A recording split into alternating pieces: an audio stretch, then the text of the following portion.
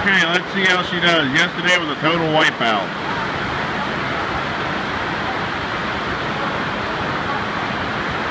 He's giving her a few instructions. This guy apparently is really good at instructing people. The one kid there behind him uh, was doing tricks here. He, his parents said before this morning he'd never done it, so. Oh.